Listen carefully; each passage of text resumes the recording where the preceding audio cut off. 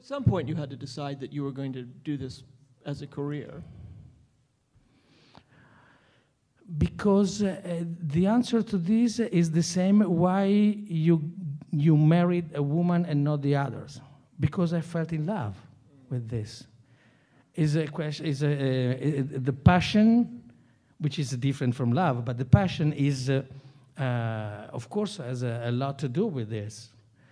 Because uh, it's amazing. I, I, like to, to perfor perform, which means um, I, I, I really like to act. I really like to, to give emotion.